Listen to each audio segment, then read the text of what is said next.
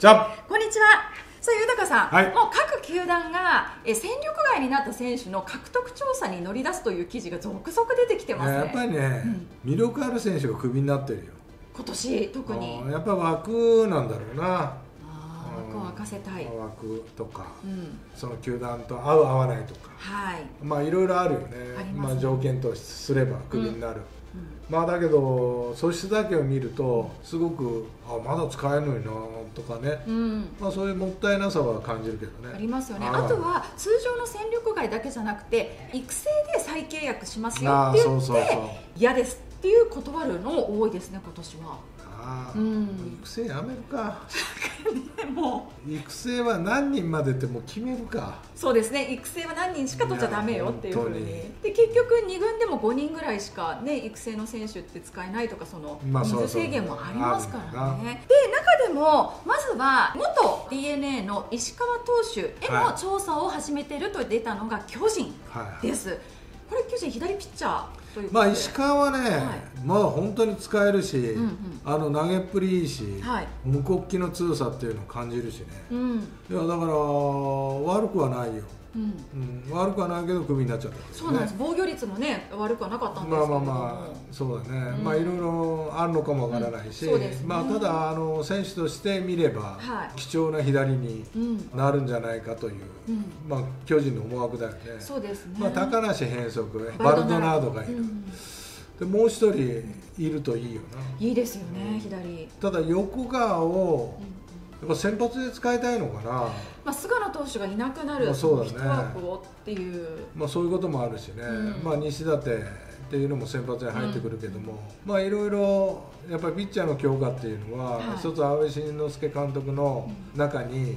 やっぱいればいるほどいいっていうね、まあ今年がやっぱり実証したよね、そうですね、うん、投手力で勝ってるから、まあ、よりそういうものを厚みを増やしたいという、うん。まあ、その中で左っていうのをね、はい。目をつけたけども、うん。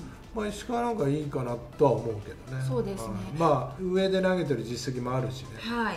だから離れという面に関しても、もう慣れてるしね、うん。だから戦力にはなるような俺は気はするけどね。そうですよね、で今現在まだ巨人が獲得調査巨人しか名前は上がってないんですけれども、はい。もしかすると他球団もこれからちょっと調査というか行く可まあ能性そうだな、まあそうう、いう発表を匂わしてないだけで、うん、まあいろいろやっぱり水面下で動いてんだよね。そうですよね。特にやっぱピッチャー欲しいところ例えばヤクルトだったりとか、まあそうだね、うん。だからまあヤクルトもやっぱ水面下ではいろんな調査してるよ、あの出てないだけですよね出てないだけだよ。だからまあ石川だったらやっぱ人気は出てくると思うよそうですよね、さらに阪神で戦力外になった岩田投手を、今度はベイスターズが調査ということで、これも左の岩田投手なんですよね。そううん。だな、だから左を出して左取るっていうなんかこう形にはなってますけれども、まあそれはそれでありだよね。ですね。いやいや浜ちゃんがなんか来年から中継ぎでしょ？そうなん坂本がいるでしょ？坂本を先発に回すのかなっていうような気もするしね。なるほど。でも坂本がいたらいたでいいし。はい。で岩田？はい。タイプが全然違うんだよね。三種三様か。うん。でやっぱ投げ方がやっぱ特徴あるから、それと若さとね、はい。やっぱボールの勢いもあるし、これはやっぱ面白いよ。うーんうん。そうなんですね。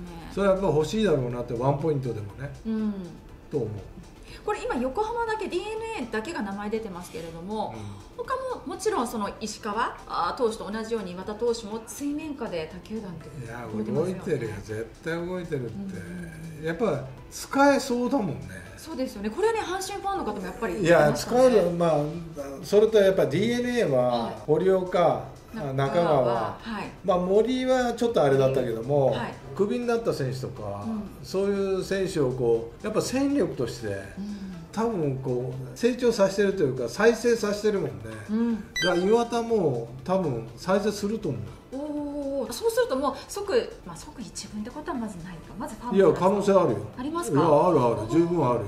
うん。やっぱ変則だけに、はい。投げれるっていうことを判断したら、う上に置いとける選手だよ、うん。うん、やっぱこういう一枚は欲しいもん。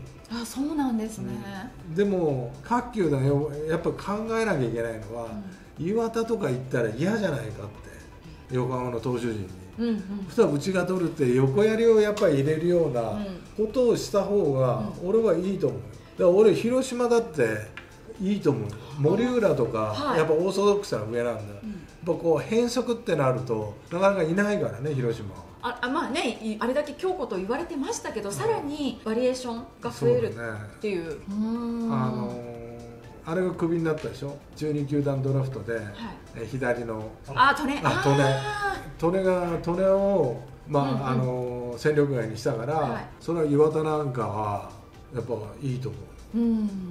まあ利根がねこう働けなかったけどもね広島ではね。ね。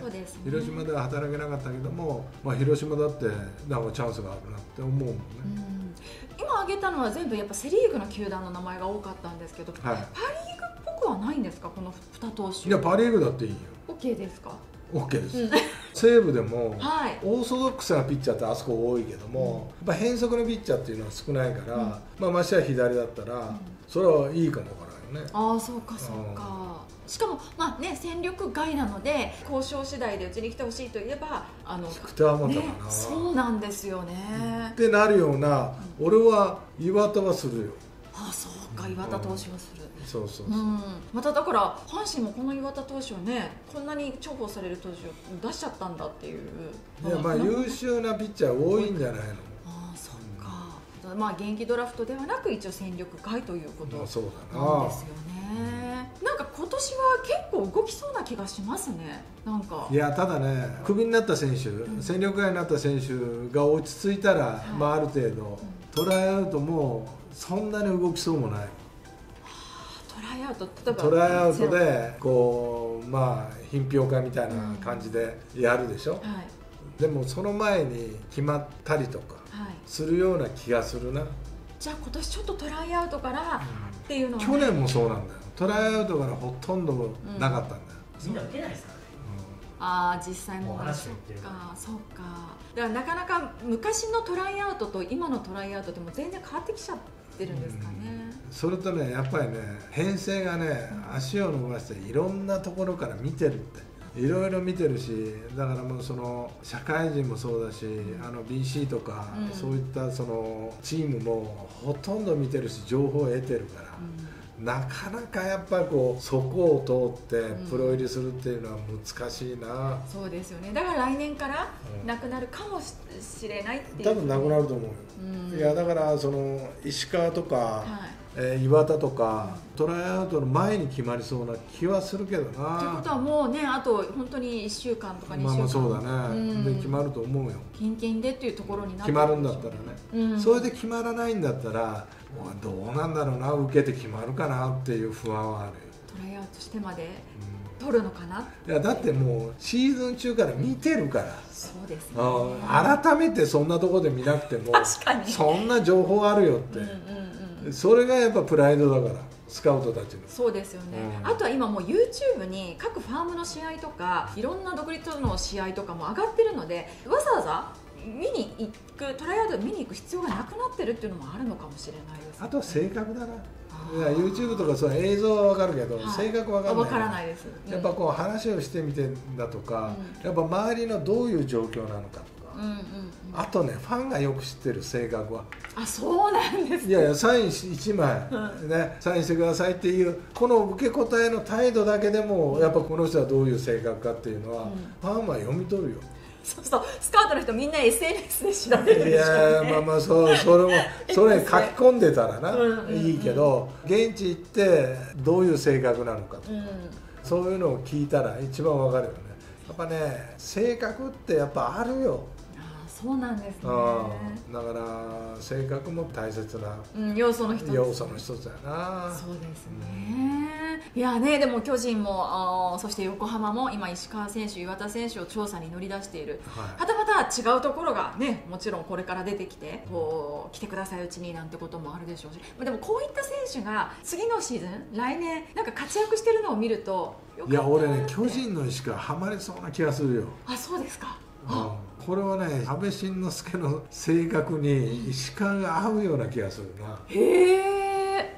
行ってこいみたいな。はい。あーマウンドにね。行きますよみたいな、うん。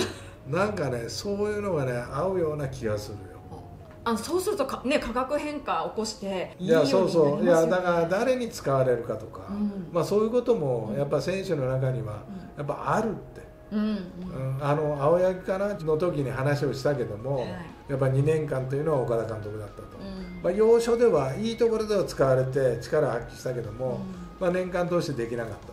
まあ、話をしたけどもやっぱ石川っていうのもやっぱそういうことをこう持ち合わせてるようなうんうん。性格をくすぐってやると、もっと力が出るような、はい。そんな性格をしてる。そのくすぐり方っていうのを安倍監督と合うような気がするという。